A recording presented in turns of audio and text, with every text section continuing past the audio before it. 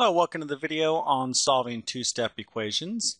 This is our third example set, example set C. And if you're able to do the previous uh, example set problems and of course understood the lesson, then this is really going to be pretty easy because it's going to be the same thing. Basically taking the same two steps to solve these um, equations. Now, in this particular group of uh, problems, we're going to be working with decimals, so obviously you're going to want to have a calculator but um, it's not going to change the steps we're going to take. All right, so let's go ahead and tackle our first problem here. So the first thing I want to do is isolate my variable term, which is 5.9x. So to do that, I'm going to subtract 2.6 from both sides of the equation. Okay, so let's go ahead and have you work that out in your calculator. And I'll have mine also. So we'll have 5.9x. Okay, our 2.6's go away and you're going to get 14.7 minus 2.6, okay? And that's going to be 12.1. All right, so we have 5.9x equals 12.1. So to solve for x, I'm going to go ahead and divide both sides of the equation by 5.9. Okay, that's our second step in these two-step equations. Okay, first of all, use addition or subtraction to isolate the variable term which was 5.9, then use multiplication or division to solve for x. And in this case, I'm using division. So x is going to be equal to 12.1 divided by 5.9, and I get 2.050.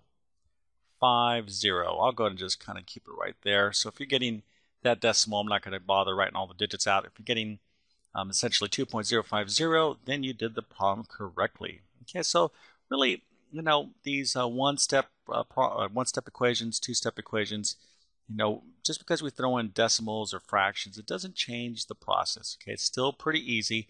And of course, you always need to write out your work. If you're not showing all your work, then you're taking a big gamble on whether you're going to get the right answer or not. Okay, so moving on to our next problem. So our variable term is going to be this part right here, this negative 1.3y. So I got this minus 108.4 next to it. So I'm going to get rid of that part by adding 108.4 to both sides of the equation. Now, notice how every single time I do these problems, I'm doing it in the same way. You want to write these problems out and show your work, you know, model it the way I'm doing it. Create those habits because if you're kind of skipping or kind of being sloppy or not showing everything, then you're creating bad habits, and that's going to come back to uh, to really kind of you know uh, haunt you, if you will, with bad grades, and we don't want that. All right, so we got negative 1.3y minus 1, uh, 108.4 equals 0.105. So I'm going to add this 108.4 to both sides of the equation, and it gives me negative 1.3y equals, I think it's the 108.4's go away, so now I'm going to go to my calculator. I got 0.015. I'm going to add 108.4, 108.4, and I get 108, 108.415. Okay, so this is where we're at now. We took our first step, so our second step is going to be solving for y by dividing both sides of the equation by this negative 1.3. Okay, now after I do that, or after we do that, rather, we will get the solution. Okay, so 108.415 divided by 1 point, negative 1.3, excuse me, is going to be equal to a negative 83.396, let's call it. 396. All right, and I didn't tell you how many digits to round off to, so that's fine. I just want to give you enough to to um, make sure that in fact you're getting the same answer as I'm getting. So there you go. So negative 83.396 would be the solution to that problem. But once again, look how I'm showing my work. You have to, have to, have to show your work. Matter of fact, I know for if uh, you were actually turning in your work to me or most uh, good math teachers out there, if you didn't show your work, it was like, you know, I would start taking points off because then I'm kind of wondering, you know, how did you get your answer? If you, you know, these if I can't show my work, or rather, if I need to show my work to get my answer, then I would expect you to have to show your work to get your answer. Okay, so show your work, create those good habits. Okay, moving on to our next problem. So in this case, or this equation, 0.3z is our variable term, so we're going to subtract 0.00715 from both sides of the equation. Another thing I want to mention here is give yourself enough room to work, okay?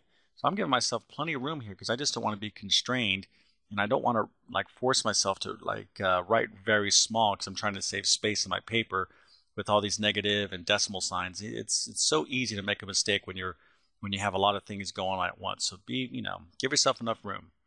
All right, so when I subtract this negative 0.00715 from both sides, I'm going to get 0.3z equals. So now in my calculator, I'm going to have to go negative uh, 401 plus a negative uh, 0.00715. Now, you can just say, you know, if you don't want to deal with the negative signs in your calculator, you can just simply go, because we're, we're going to be adding these up and it's going to be negative. So you can just add these up and keep the negative sign. So as long as you understand your positive negative number rules, then you're going to be fine. Okay, so 401 plus 0.00715 equals negative 401.00715, let's call it. Let's write everything out. Okay, so, whoops.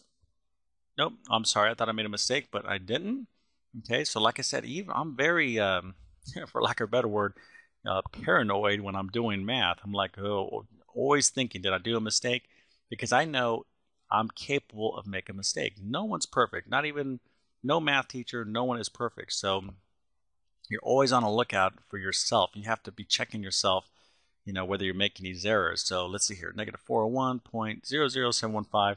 Okay, so that looks good to me. So, uh, so now to solve for z, I simply have to divide both sides of the equation by this 0.3. Okay. So some of you might be out there saying, yeah, you know what, I know how to do this. Is I just go real fast, and, and that's great.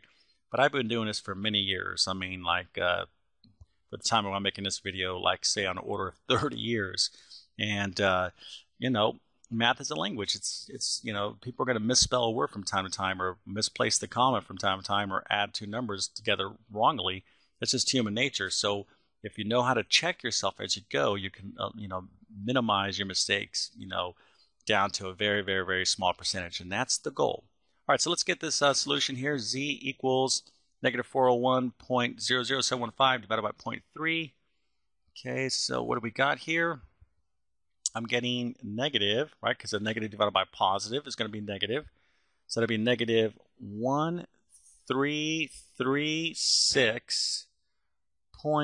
1336.6905 or so. Okay, so there is our solution. All right, so hopefully this is all coming together for you. It takes a little bit of, of more time than some more more basic equations because we're having to use our calculator, but nevertheless, it should be pretty straightforward um, math for you guys out there. So our last problem, 8.9g minus 0.25 equals 1 eighth. So a couple ways you can go. You have decimals and you have a fraction.